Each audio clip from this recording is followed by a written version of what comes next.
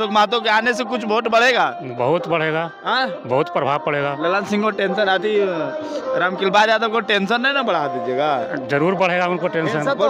कि मैं आरजेडी का लवर हूँ। हाँ आरजेडी के लवर है। बिल्कुल। हाँ मैं क्या RJD आरजेडी लवर है थोड़ा गुनगुनाइए जानते हैं गाना गाने आरजेडी लवर गाना गाता है। गाना तो मैं नहीं जानता हूँ लेकिन मैं आरजेडी का लवर हूँ। हाँ। और आरजेडी का मैं तहे दिल से शुक्रिया करता हूँ। हाँ। और आरजेडी का मैं तहे दिल से क्या बोलते सिपाही हैं हैं आप। समर्थन कट्टर करता सिपाही हूँ हैं। अच्छा क्या कहेंगे? यहाँ मीसा भारती आई है कैसा देखते हैं? क्या लग रहा है मीसा भारती या फिर हम लोग के लग रहा है कितनो बीजेपी यहाँ आयल करे वो होने वाला कुछ नहीं है। हाँ। किसी भी तरीका से आ जाए ये कभी कुछ होने वाला नहीं है। इंसान निशा दीदी के यहाँ से विजय है तो विजय है।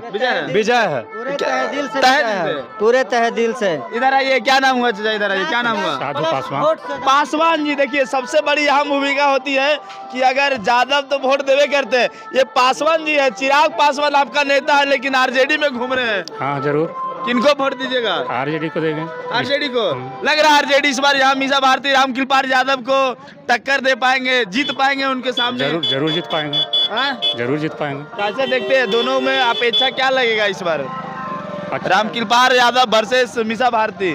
कौन बनेंगे यहाँ के सांसद? मिश्रा भारती बनेगी। मीसा भारती। श्योर बनेगी। सब कह रहा है रामकृपाल यादव इतना दस साल से लगातार हैं कैसे देखते हैं? नहीं नहीं मिश्रा भारती जीतेगी। हाँ? मिश्रा भारती जीतेगी। जीते कितना वोट से जितवा दीजिएगा? वो करीब तीस चालीस वोट तीस चालीस हज़ार वोट से। तीस चालीस हज़ार वोट से? हाँ। देखिए बहुत बहुत धन्यवाद। अभी अशोक महतो आए हैं काफिला में क्या लग रहा है? हर जात को एक कर पाएँगे अशोक महतो के आने से कुछ वोट बढ़ेगा?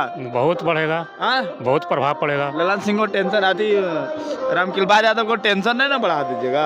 ज़रूर बढ़ेगा उनको टेंशन। तो वहाँ माथा खुजला रहा है ना बीजेपी को। आज ये पूरा नौजवान एक हो गए हैं। जी।